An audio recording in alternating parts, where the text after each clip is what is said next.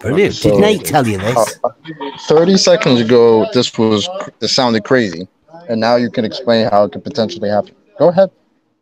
Yeah, that's how this works. So you don't want to be the person that doesn't understand. If you're the person that doesn't understand, you might meet with ridicule for not understanding this stuff. No, Nathan, I understand Yeah. everything, but I could. Un- See? Perfect timing.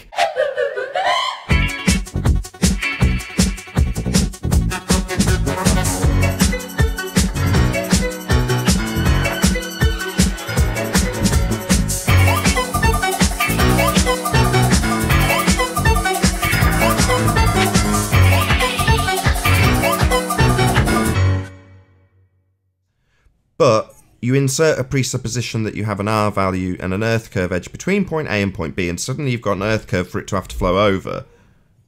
So, in other words, the only problem for this river, for all intents and purposes, it's dropping in elevation. It must be, it's flowing. They're saying that it has to flow over a curve. But that's the only problem that's being installed by the presupposition of earth curve. But for that fact, it would just be dropping in ele- elevation like every other river. It must be, it's flowing. But Right. hang on, But just they, but to, but their elevation, so called, so called, is from the center of the earth, not from, you know, not from point or point to point. Makes any sense? Yes, no, I understand that. Thank you, Paul. I'm I'm I'm crystal clear on what the scenario is now. Um, no Hey, thanks Nathan, to you, he, Bev. you, he, you in chat says water always finds its uphill. Yeah, right. You've got to have relief if it's going to flow. It's not going to flow if it's if it's facing a hill to flow over. It, it- that, that's not how it works. But yeah, but for the fact that you've inserted a presupposition of a sphere Earth, this wouldn't be a problem. And then dividing gravity by two to get it going uphill and having less of effect of a force that's not a force acting on it is is just a complete nonsense created with the problem of a sphere Earth being a presupposition, not because the the, the elevation doesn't change, because it must if it's going to flow downhill. If it's going to flow towards the mouth, if it's going to flow out towards the sea, it's got to have relief. It can't flow uphill. That's not how rivers work. So yeah, Can I can I just add? I've just put one in Master B there, um, that shows where the St. Lawrence River actually is. Uh, You might be surprised. okay, It's, got it up. it's at the end of the Great Lakes in Canada. So the source of the of the St. Lawrence River is the Canadian Great Lakes. And like I mean, I don't know about you, but like this whole question about gravity and flowing uphill, normally you'd end up with a trough like a reservoir and then the overflow would come so you would have a level bit in between but the the whole uphill river thing uh, would show a concave shape No, otherwise it'd just be filling up like a, a trough of water wouldn't it a reservoir like a lake where does water flow uphill? Sorry, who was that? Was that Jazz? A bit quiet. You g'day, Nathan. How are you? Long time. Very well. see. Oh. Bit quiet, Jazz. Don't eat your mic as a result of me saying that.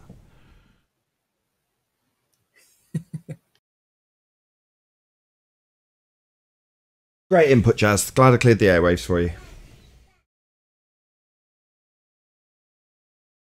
I know. I'm waiting for you to carry on with what you were saying. I'll. Oh, I'll, fair enough. um, interject when needed. can can i just ask jazz jazz do you have a, an uphill river preference choice the mississippi or the lawrence or do you have your own Are you?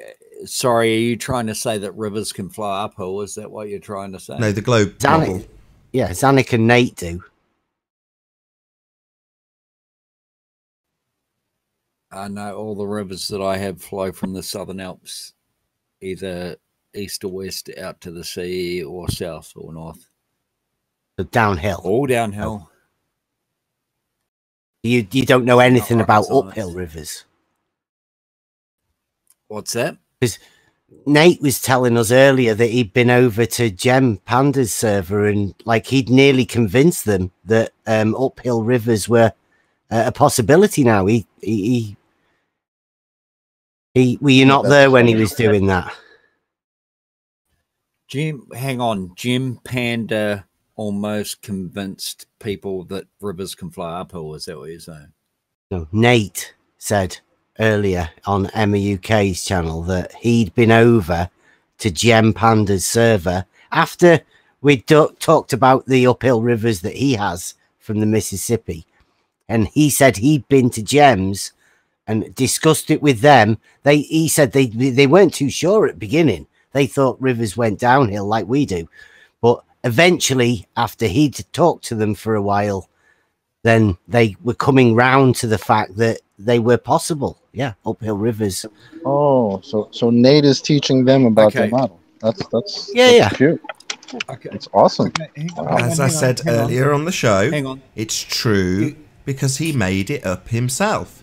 He's become the There authority on this subject and he's telling them and he's explaining that towards Well- the end of the explanation process, they understood.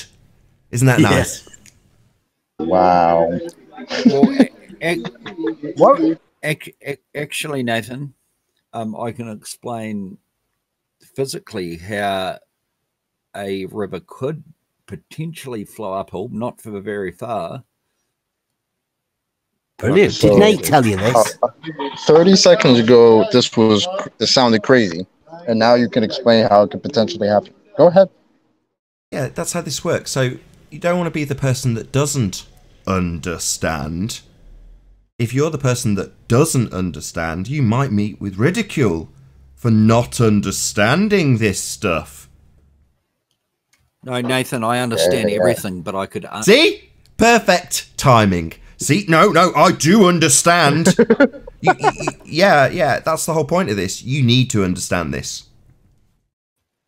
But you don't understand anything. But Oh, so it's the reverse psychology. Ridicule me for not understanding it.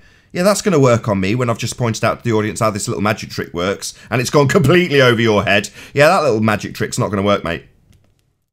as the cards are flying right over, carry on. So, go on, tell us how you can explain how a river will flow uphill. Go on, tell us how you can. No, no, you, you go ahead. You go ahead. No, no, you said you could explain how rivers would flow uphill. Well, do you know Because if, how? Um, 'cause if that's the new argument, you don't want to be you don't want to be the one left out of the new argument. So please tell us how rivers flow uphill. Okay. okay, so so can I talk? So you know how a flood happens? Water Yeah. gets backed up because of a blockage. Do you want me to affirm each bit of this, or do you want it to be rhetorical? Okay, so that's what that is. That is how that could happen. Is that water is getting backed up due to the the flow, the cubics or cubic meters per second of water can't go through that same outlet because of a dam. I see. Kind of like Bev explained earlier. But before Bev said it earlier, he also said typically when I explain this, they'll come along and say, Yeah, I'll have that. Yeah, that, that would be water behaving in the normal way, though, wouldn't it? If it gets backed up, it's because it's not flowing uphill. That's why it gets backed up, because it's not going uphill. Trying to go down, Well, no, reaching a blockage, and backing Nathan, up. Nathan, That's not flowing uphill, mate. Nathan, Nathan, Doesn't Nathan, sound like that's flowing not either. Sounds water like behaving dam- dammed up naturally. or backed up. That's not water behaving naturally. That's water behaving because of something getting in its way, which makes it back up, which can make it go back. And if it was going uphill, it wouldn't be backing up. The whole point is backing up means it's not flowing uphill. If it flew up, flow, if it could flow uphill, it wouldn't back up, as you put it. So that's not an example of flowing uphill. Hello. Uh, Okay, water so can what's your have a, example a little momentum. So you know, if it went downhill, Nathan. then it might Go go, for up a little bit uphill, maybe i i with the momentum that it's gotten from going downhill. But it's not going to persistently do that continually upward. I don't think Especially that's when there's this thought. weird I would- force that's supposed to pull everything down. That's just mostly down.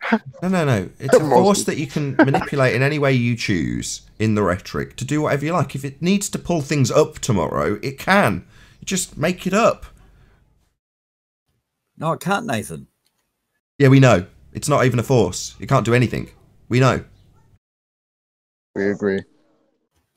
What can it do tomorrow, Nathan? What can it do? Gravity can't do anything. It's just a concept. You can't do anything with it. It's conceptual.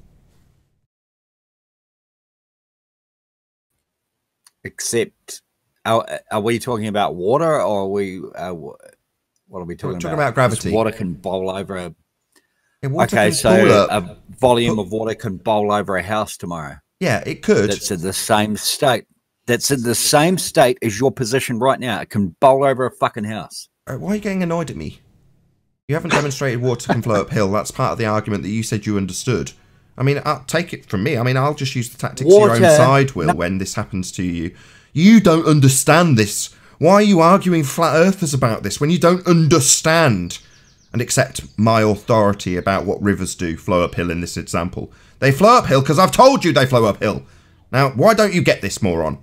Why are you arguing when you don't understand? Yeah, it's easy. You tell people something as an authority figure, and when they repeat it incorrectly, you point out that they don't understand, haven't accepted your authority, and you ridicule for them. You ridicule them for it. And that's what's going to happen here. I'm going to ridicule Jazz for being a moron who doesn't understand this. You don't understand their double speak nonsense of how rivers can flow uphill. You're giving the downhill explanation. God, don't you get this? Don't you understand? You've just okay, okay. I work for CBS. I need you to prove that you can prove that rivers can flow uphill. They can't, you stupid moron. This is globe rhetoric, you daft twat. So prove it, you Yes. dumb. We don't Jazz, want to real- prove it. We don't think it's true. It's a problem for the globe when you assume a globe. You've suddenly got a hump to get over for this river. The St. Lawrence River. It's got to flow over a hump if you assume a sphere. That's not us needing to prove it, you daft prick. You need to prove it, you moron!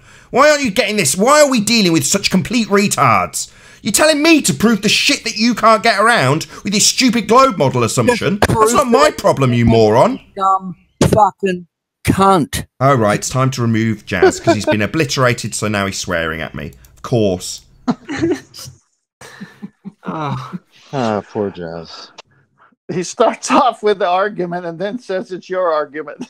yeah. Yeah, Zanuck did that on yesterday's show that's yet to be released also. So it got to the point where he's saying air goes mostly down, mostly boom boom, mostly gravity, with air expanding in all directions. Then we point out one of the cycles to him where it's just going up, and he asks me to justify why it's going up, which is the response to his argument. The rebuttal, the demolition of his argument, is suddenly being put on me to justify when he finally concedes that his arguments fall to pieces. Well, no, I'm not going to suddenly explain why these bl- bloody rivers flow uphill, you moron. That's not my argument. It's nothing to do with me, my rhetoric, anything. We're smashing your nonsense. Bloody hellfire. How thick are these people? Well, you argue to make it make sense. It doesn't make sense. Yeah, we know that's our point. E- even Uh, though when he was first told it, he made it sound so stupid. Like, wait, wait, wait. Jim Panda was trying to convince someone that rivers go uphill. Eh. right? And then he try he ends up two minutes later trying to defend it. Oh, I can tell you how that happens. Yeah, yeah, go ahead, bro. Yeah, that's because I pointed out and used their little magic trick of, well, you've got to understand, respect my authority. You're a moron if you don't understand this. Well, understanding and accepting this thing as real because it's been explained to you by somebody in authority and you've nodded along while they've taken advantage doesn't make it real, doesn't make it make sense, doesn't make it logical, doesn't make it real, doesn't make it anything. It just means you've understood what they've explained. And in this case, he didn't even understand it and took offence quickly. Something that I might not understand. Well, quick, declare that I do. I'm not thick. After after he tries to defend it, he realizes he can't, and he asks Nathan to defend it. Yeah. Ah, My head is swimming right now. It's uh, that argument. Would, would that be argument. uphill or downhill? I quite like this. Now, Got now, right now, back, go on, Neil. Sorry. I said my head is my head is swimming right now with all of this, and it got right past tenth man. I got I got it though. I say, is that uphill or downhill? I, I was trying to say that his argument was damned from the beginning, but no one got that either. In, in case you can't tell, I think this is a cracking argument, which is why I brought it up with Bev on the show.